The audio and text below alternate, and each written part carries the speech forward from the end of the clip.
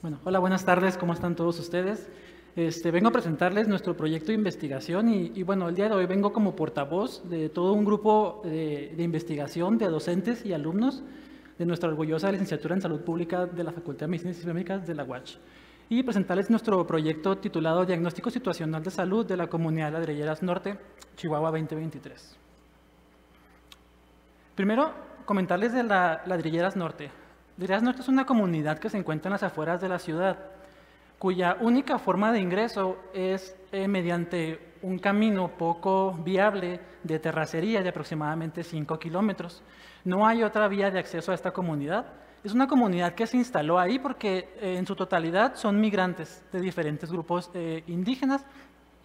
Y en un inicio, gracias a gestiones que realizó Club Rotario, trabajó y construyó para este centro de atención a la salud, doctora Marta Céspedes. Posteriormente, junto con la Escuela de Enfermería Florencia y nosotros como Facultad de Medicina, pues nos donan como dato este centro de salud. Entonces, pues ya nosotros en esta tarea este, decidimos aceptar la, misión y, bueno, el primer paso que, que se hace en esta situación es el diagnóstico de salud. Entonces, para entrar un poquito más en contexto en esta comunidad, pues les presento aquí a Adrián.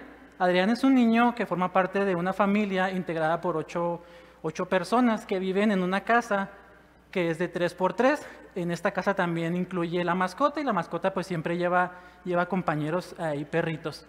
Y bueno, al momento de tomarle la foto a Adrián le preguntamos pues qué estaba haciendo y él nos dice, no, pues estoy en la hora del té. Y cuando vemos el agua que está tomando, más que esto está fallando, pero es un agua negra, porque la única forma de que ellos pueden tener acceso a los servicios de salud, bueno, a los servicios básicos, en este caso el agua, es a través de una pipa que va dos, veces por semana. Y bueno, en este intercambio de, preguntas en el diálogo, Adrián nos hace una pregunta que queda marcada, que es, ¿ustedes también son pobres?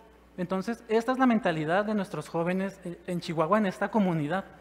De ahí que aceptar el reto y, bueno, plantearnos como objetivo abordar los determinantes de la salud para identificar necesidades y priorizar los problemas de esta comunidad y generar estrategias resolutivas.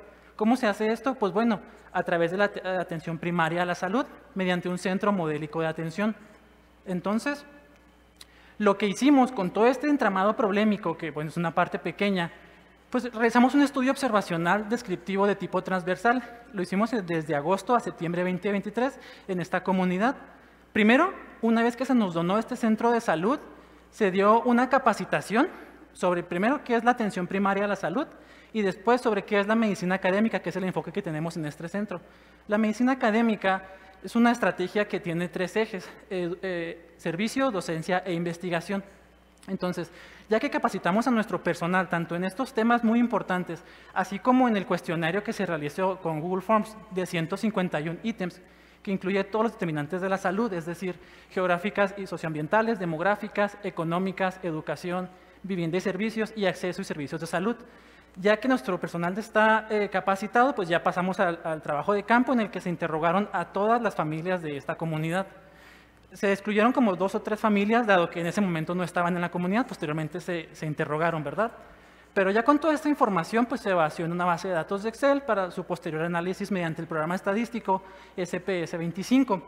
Entonces, de todo este eh, censo y información que encontramos, en el apartado de eh, determinantes demográficas, educación, geográficas y socioambientales, pues bueno, encontramos primero que se, que se hicieron 272 cuestionarios, es decir, 60 familias, que corresponde al 92% de la comunidad.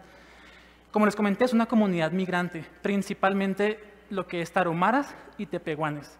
Y un dato muy, muy característico es que el 86% de esta comunidad es analfabeta en uno eh, o diferentes niveles. De toda esta comunidad prevalece eh, el sexo femenino en más del 50% y da una característica que la mayoría de esta comunidad es comunidad joven, de ahí que migran por oportunidades que pueden ser laborales o para mejorar su calidad de vida.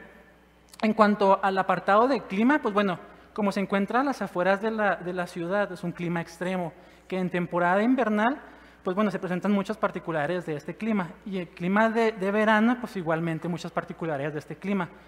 Mencionan amenazas ambientales que van desde lo climático porque lateral a esta comunidad cruza un río, el cual en temporada de lluvia puede generar inundaciones en las casas habitación. Y bueno, además de, como, como dije, al tener este mascotas, pues se presenta mucho el problema de enfermedades infecciosas por garrapatas, incluso eh, picadura de, araña o mordedura de víbora. En cuanto a la vivienda, pues es otra comunidad que llegó y se instaló en esta, en esta zona, es decir, autoconstruyeron su casa, principalmente de lo que es lámina y madera. El piso en todas ellas sigue siendo tierra, de ahí que pueda fomentarse otras eh, enfermedades. En estas casas habitación regularmente viven tres o más familias, es decir, de 8 a 15 integrantes. Viven en hacinamiento. Su dieta se basa principalmente en frijol y tortilla. El 75% de toda esta comunidad sí consume tres veces al día sus alimentos. El 23% solo dos veces al día. Y el 2% solo consume una vez al día alimentos. En cuanto a la parte de, de vivienda y servicios y economía, bueno, Toda esta comunidad está aislada, no tiene servicios básicos. De agua, nadie tiene agua potable. La forma en que ellos pueden consumir agua es a través de una pipa, que da dos veces por semana. Eh, luz, el 76% refiere luz, pero no, no la luz como tal, sino que pues, la luz del día. Gas, el 48% pues sí tiene ahí el, el, tanque de gas. Y la forma en que ellos tienen el drenaje, pues a través de fosa séptica. Nadie tiene drenaje como tal. Aquí pueden ver las casas, cómo es eh, la vivienda de ellos y esta es la forma en la que almacenan el agua que, consumen. Eh, ellos se dedican principalmente a lo que es el ladrillo. Entonces, por cada familia, 1.9 son trabajadores ya, que la de inicio es a partir de los 15 años, o sea, tenemos trabajo infantil. Y pues el empleo, además del ladrillo, se encuentra la construcción y la maquila. Además de todas las interrogantes eh, que forman parte de los determinantes de la salud, también quisimos saber qué le interesa a la comunidad aprender, porque es una comunidad muy participativa. El centro de salud, ellos eh, pusieron de sus propios ladrillos para poder construirlo. Y lo que a ellos les interesa aprender, pues es muy variado. Va desde los primeros auxilios hasta talleres de carpintería o costura, esto para poder tener una mayor oportunidad en el ámbito laboral. Entonces esto me parece muy, muy importante que la comunidad esté dispuesta a aprender y sobre todo también en temas de drogadicción y cosas como deporte o la instalación de huertos. En cuanto al acceso a la salud, bueno, esto es una parte que, nos pareció muy crítica. Primero, porque en cuanto a los métodos anticonceptivos, el 68% no conocía ningún método anticonceptivo y pues menos lo va a usar. En cuanto a las revisiones de cáncer cervicouterino o de mama, el 65% no tenía ninguna revisión en ningún año. Los que sí tenían reportaban de años pasados, pero de ese año nadie tenía. Y miren este punto muy crítico. En cuanto a la salud materno-infantil, encontramos una paciente embarazada de más de 35 semanas de gestación con esta triada mortal, porque era diabética, era hipertensa y no tenía control prenatal. También en esta comunidad se, ha presentado muerte infantil. Aquí tenemos las diferentes causas. Una de neumonía, dos desconocidos, dos accidentes que regularmente se asocian a la construcción de ladrillos y dos por aborto, porque ellos tienen mucho a lo que son las parturientas, entonces en su mismo hogar pues hacen esto, este labor de parto. En cuanto eh, preguntamos el gasto que ellos hacen en salud, pues iba desde cero hasta 3 mil pesos, con un promedio de 646 pesos. Y bueno, como es una comunidad aislada, eh, aquí colocamos los tres principales centros de salud que están como cercas para ellos. En un primer nivel está a pie 40 minutos, en ya un carro particular, que solo como tres familias cuentan con vehículo particular, es a 10 minutos. En camino está vacío porque a esa zona no llega un transporte público. Un centro de, salud, pues ya está una hora con 47 minutos, ya en vehículo particular, pues ya son 22 minutos. Y un hospital general, ya un segundo o tercer nivel, pues ya está a 20 kilómetros, ya se dificulta más el poder trasladar a un paciente que se puede complicar. De ahí la importancia que nosotros vimos en, bueno, no hay que trabajar en lo curativo, sino en lo preventivo. Y bueno, en cuanto a la vacunación, el 83% no estaba vacunado. Y aquí me refiero a una o dos vacunas de todo su esquema.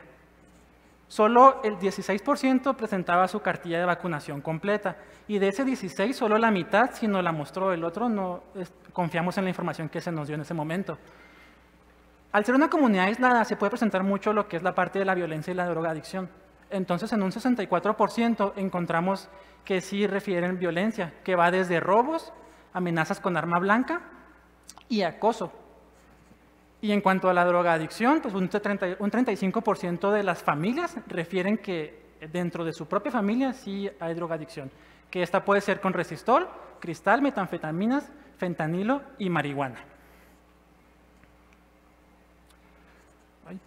Bueno, entonces se encontraron necesidades específicas de esta población. Vimos que el desarrollar un centro, de atención modélico, un centro modélico de atención primaria a la salud con un enfoque en medicina académica nos va a permitir intervenir y contribuir a esta forma de la marginación. Entonces, ¿qué esto es lo que ya se hizo. ¿Qué se ha estado haciendo? Bueno, mediante alianzas intersectoriales, porque ni un servidor, ni la licenciatura en salud pública, ni la facultad de medicina pueden trabajar esto solo, sino que es necesario crear alianzas estratégicas y de ahí que el trabajo intersectorial sea fundamental para poder desarrollar este centro de atención modélico a la salud como lo que se tiene planeado. Entonces, eh, es necesario todas estas eh, alianzas y sobre todo algo que es muy importante es la participación activa de la comunidad. Tenemos en este centro de salud tanto pasantes de medicina, de terapia física y rehabilitación, de salud pública, obviamente, y tenemos eh, intercalados los que son pasantes de enfermería y de odontología. Entonces, con este cuerpo de trabajo se ha estado eh, elaborando de forma semanal con actividades diferentes que van dirigidas a lo que es la atención primaria y la salud, es decir, la necesidad que presenta la comunidad. Por ejemplo, en un primer momento, una primera semana, lo que se realizó fue una vacunación a, todo el, a toda la comunidad para atender esa necesidad que consideramos prioritaria en ese momento. ¿Qué sigue en este centro de salud? Bueno, con pasantes de la, carrera de terapia física y rehabilitación, que ellos eh, son expertos en materia de, ergonomía, y como ya se, aquí se presentó, los ladrilleros tienen muchos problemas en cuanto a su salud por estas cuestiones, incluso tenemos accidentes reportados y muertes. Entonces, con esta parte, bueno, vamos a hacer un taller dirigido a los ladrilleros en el que se les enseñe cómo es el, el cuidado, cómo tiene que ser su postura, cómo tienen que ser todas esas estrategias para evitar llegar a un padecimiento. De ahí que nuestro centro modélico va más enfocado a la prevención, no, no al, tratamiento como tal. Nuestro médico pasante sí realiza consulta médica, pero es una más de las actividades que ella realiza. La medicina académica nos permite trabajar tanto en investigación, docencia y servicio. De ahí que eso es lo principal de nuestro centro. Entonces, esta es lo que quería presentarles el día de hoy y que seguimos trabajando. Es un trabajo que, que no, no, se concluye aquí, sino que va a continuar. Y la idea es replicarlo en otros centros de salud de nuestra misma ciudad, bueno, entidad. Y pues bueno, sería todo de mi parte. No sé si tengan alguna duda o comentarios.